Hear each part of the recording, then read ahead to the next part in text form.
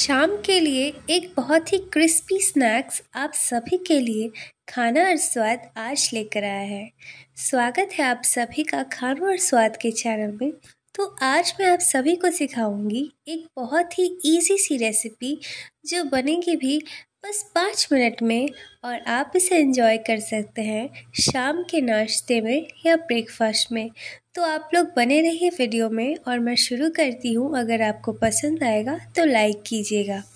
तो सबसे पहले हमें तो इस रेसिपी में बहुत ही कम सामान की इस्तेमाल होगी।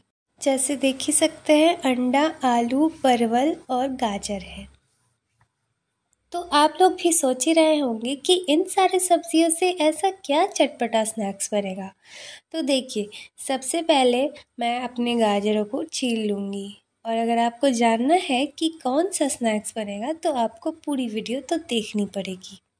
तो सबको मैंने अच्छे से छील लिया है। अब जो हमारे पास ये कद्दूकस करने वाला मशीन होता है, सबके घर में इससे हम अच्छे से ग्रेट कर लेंगे। मैंने पहले गाजर को ग्रेट कर लिया है, अब आलू को भी ग्रेट कर ले हूँ।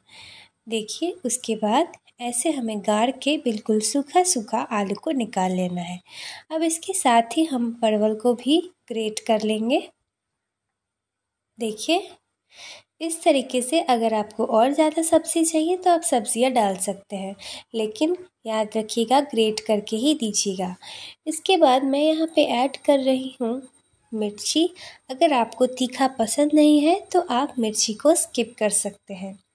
इसके बाद ही मैं इसमें थोड़ी सी चॉप्ड ऑनियंस डाल रही हूँ और उधर मैंने मैदा सान कर रख लिया था।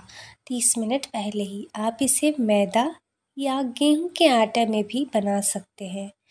तो देखिए, मैं मैदा के लिए जो बड़ी बड़ी ये लोई बना ली थी और उसको मैं अच्छे से पतले, बिल्कुल पतले में बेल लूँगी। आप देखिए, इस तरीके से आप थोड़ी सी आटा लगा के बेल लीजिएगा और ज़्यादा पतला मत कीजिएगा, वरना इसकी जो स्टफिंग हम लोग भरने जाएँगे, वो निकल सकती है। इसीलिए बिल्कुल, मिडिल में ही रखिएगा, ज़्यादा मोटा भी नहीं और ज़्यादा पतला भी नहीं। तो ये बेल जाएगा। और मैं आप सभी को दिखाती हूँ कि मैं स्टफिंग में क्या क्या डालूँगी। गाजर, ऑनियन, परवल, ये ग्रेटेड हुए सब, आलू और थोड़ी सी मिर्च। अब इनको मैं एक मिक्सचर में बना लूँगी। तो देखिए, इसे मैं एक बोल में ले रही हूँ। इसको डालने के बाद हम थोड़ा सा इसमें ब्लैक पेपर पाउडर डालेंगे मतलब काली मिर्च की पाउडर साथ ही मैं यहाँ पे नमक डाल रही हूँ। अब हमने जो अंडा लिया था, अब आप सोच रहे होंगे कि अंडा का कहाँ इस्तेमाल करना है? तो देखिए यहाँ पे इस्तेमाल करना है। अंडा को आप फोड़ फोड़ के डाल दीजिएगा। मेरा सब्ज़ी के अनुसार मैंने अंडा तीन ही लिया है।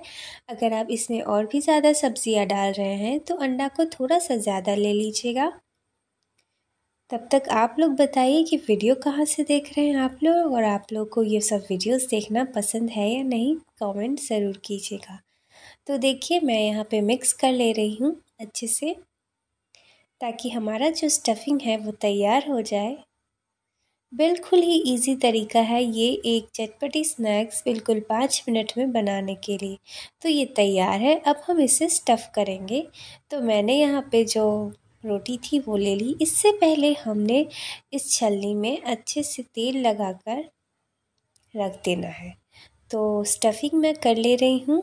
देखिए, जो हमने स्टफिंग को तैयार किया था, उसको मैं रोटियों के ऊपर बस सिंपली तरीके से डालूँगी। ज़्यादा मत डालिएगा, वरना गिरने का संभावना हो जाता है या फिर ये लीक करने का संभावना होता है।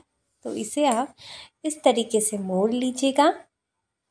और फॉर्क या फिर किसी भी एक चीज़ से ऐसे हमें छेद बनाना है। आप फॉर्क का भी इस्तेमाल कर सकते हैं। उसके बाद हमें इसे लॉक कर देना है।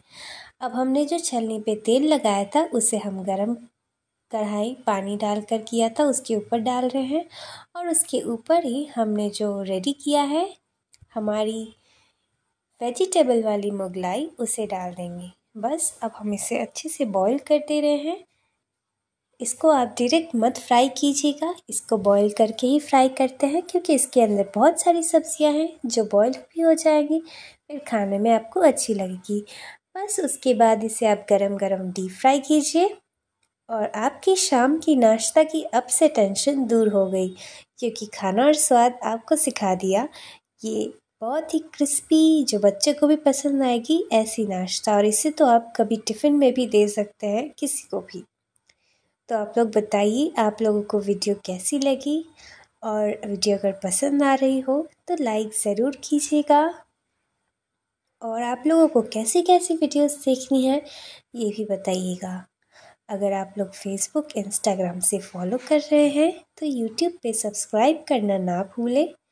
और थोड़ी सी लाइक और थोड़ी सी शेयर ज़रूर कीजिएगा। धन्यवाद।